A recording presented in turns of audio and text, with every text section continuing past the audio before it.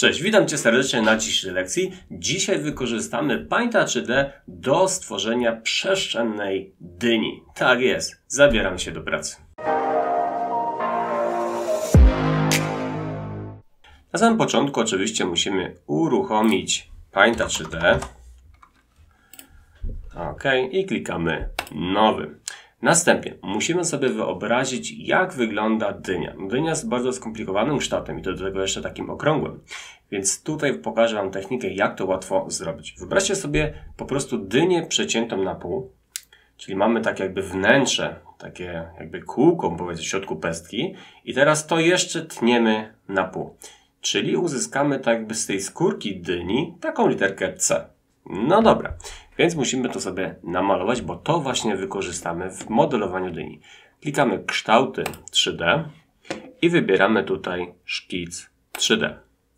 Następnie wybieramy tutaj tą opcję i od razu kolorek pomarańczowy. No i teraz tutaj na naszej kanwie, czyli na tej białej kartce, musimy narysować taką literkę C. Ja rysuję to w ten sposób. O. I teraz jak wypuściłem guziczek, to pojawiły mi się takie punkty. Tymi, punktami, tymi punktami mogę jeszcze sobie modelować. I bardzo ważne jest to, żebyście tak utworzyli tutaj tą literkę C, żeby w tym miejscu był taki jakby dołek. O i tutaj też. Mi się wydaje, że moja będzie dobrze wyglądała. Mogłaby być troszeczkę grubsza, ale zakładam, że będzie ok. Zaznaczam potwierdzenie. Wmodelował mi się tutaj mój rysunek. No i co teraz muszę zrobić?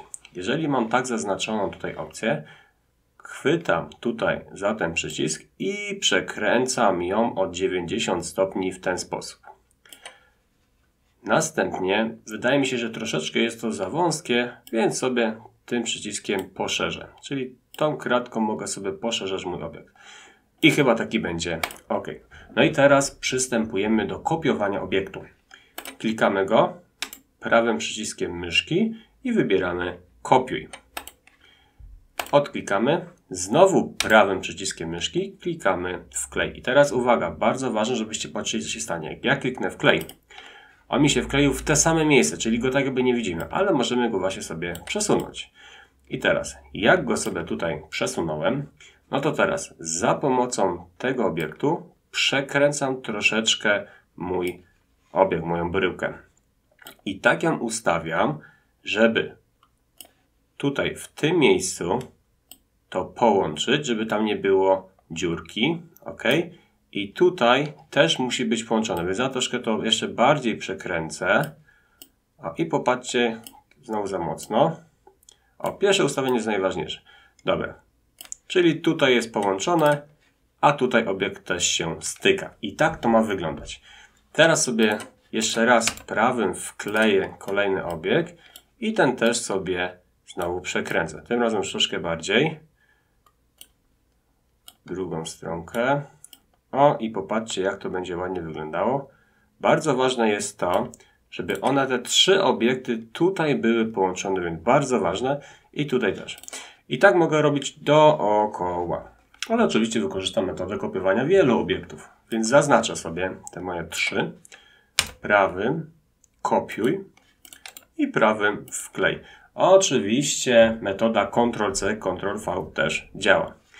Wyciągam sobie to, co skopiowałem i znowu sobie go przekręcam i dokładam do mojego obiektu tak, aby mi to pasowało. Pamiętajcie, jak chcecie sobie oddalić albo przybliżyć obiekt, robimy to za pomocą kulki na myszce. Dobra.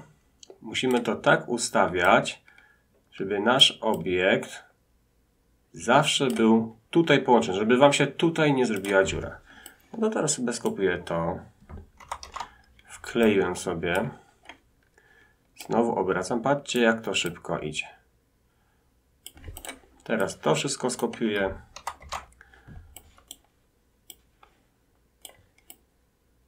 Mogliśmy to robić ręcznie, ale jak widzicie, o wiele szybciej można to zrobić za pomocą kopiowania i wklejania. No i popatrzcie, praktycznie mój obiekt już jest gotowy. Tu mi troszeczkę brakuje, więc sobie Skopiuję tylko trzy elementy i obrócę. I popatrzcie w bardzo szybki sposób. Widzicie to, że to jest dynia, tak? Ale oczywiście ona nam się teraz rozleci. Jeżeli teraz wyciągnę obieg, no to niestety jest błąd. Żeby nam się nie rozleciał obieg, musimy go zgrupować. Zaznaczamy wszystko, albo klikamy Ctrl A na klawiaturze, czyli zaznacz wszystko, Ctrl A. I prawym przyciskiem myszki, klikając w obieg, wybieramy opcję Grupuj. I teraz wszystkie obiekty zostały sklejone, więc on się nam nie rozleci. I popatrzcie, znowu chwytam z prawej strony i go przekręcam. Popatrzcie, jaka piękna dynia nam tutaj wyszła. Wygląda to rewelacyjnie. No i jeszcze brakuje nam tego takiego dzióbka, za co dynia taki zielony jakby koniuszek, ogonek, nie wiem jak to nazwać. No i jak go zrobimy? Zrobimy go w ten sposób, że znowu wybierzemy sobie tutaj e, opcję szkicu, ale ja sobie wybiorę po prostu inny kształt. Wybiorę sobie coś takiego. I niech on jest taki bardziej cienki. I również wybiorę sobie tą opcję. Popatrzcie, co się stanie. Ja sobie takie coś narysuję, no pięknie to będzie wyglądało, mogę sobie poprawić.